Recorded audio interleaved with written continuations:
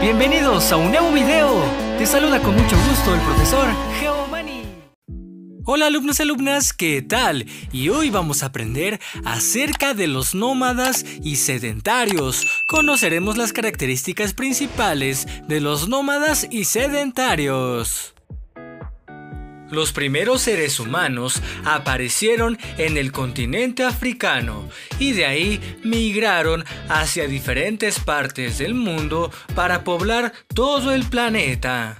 Los primeros homínidos vivían en comunidades nómadas. Los nómadas son individuos o grupos humanos que se desplazan de un lugar a otro, que van de un lugar a otro continuamente a fin de asegurar su subsistencia. Los pueblos nómadas no conocían la agricultura, cazaban, pescaban y comían de los frutos que iban encontrando. Esto hacía que su alimentación estuviera condicionada por su entorno geográfico los nómadas eran cazadores recolectores, es decir, seres humanos que recogían los frutos que les proporcionaba la naturaleza, tales como frutos silvestres, raíces, etc., además de que cazaban animales. La vida de los primeros cazadores recolectores implicaba que los grupos recolectores y cazadores se desplazaran de un lugar a otro para seguir a sus presas y encontrar territorios con nuevos recursos. Recorrían grandes distancias y en ocasiones debían luchar contra otros grupos nómadas por el territorio. Viajaban en pequeñas bandas y construían albergues provisionales con barro, huesos y pieles de animales. Recuerda, alumno y alumna, que la caza dentro de los grupos nómadas era una actividad cotidiana y coordinada en la que participaban tanto hombres como mujeres, por lo que exigía la comunicación entre todos para organizarse y saber qué animales eran las mejores presas para cazarlos. Las bandas de cazadores recolectores nómadas elaboraban herramientas de piedra.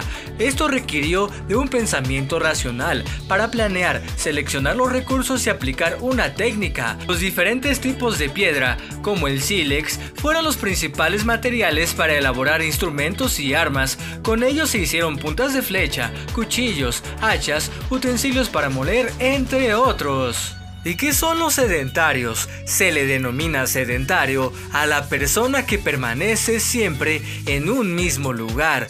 Son seres con pocos movimientos migratorios. El paso del nomadismo al sedentarismo fue posible gracias a que los cazadores recolectores lograron domesticar animales. Los perros fueron uno de los primeros, luego vacas, cabras y caballos, y algunos grupos que habitaban suelos fértiles descubrieron la agricultura. Este logro se le atribuye a mujeres y niños por ser quienes se dedicaban a la recolección. Antes del dominio de la agricultura, arrojaban semillas que crecían por sí solas, por lo que a cabo de algún tiempo volvían y recolectaban lo que había nacido. Ambos hechos hicieron que su forma de vida se fuera modificando. El paso del nomadismo a los primeros asentamientos agrícolas ocurrió de manera independiente y diversa en distintas partes del mundo. Hay que mencionar que el descubrimiento de la agricultura no volvió sedentarios de inmediato a los cazadores recolectores. Esto debido a que las cosechas eran insuficientes al depender de las lluvias y otros factores climáticos. Entonces, alumno y alumna, recuerda que los nómadas son los que se desplazan de un lugar a otro en busca de alimentos, son cazadores recolectores, conseguían sus alimentos por medio de la caza y la pesca y la recolección de frutos silvestres, se vestían con pieles de animales, mientras que los sedentarios son los que permanecían en un solo lugar, obtenían su alimento por medio de la agricultura y la ganadería, además desarrollaron el trabajo textil, es decir, producían telas con lanas de animales. Pues bien, alumno y alumna, hoy aprendimos la diferencia entre nómada y sedentario. Si te gustó este video, dale me gusta, deja un comentario, compártelo y no olvides suscribirte. Espero este video haya sido de tu agrado. Gracias por tu atención. No olvides darle me gusta y dejar tu suscripción.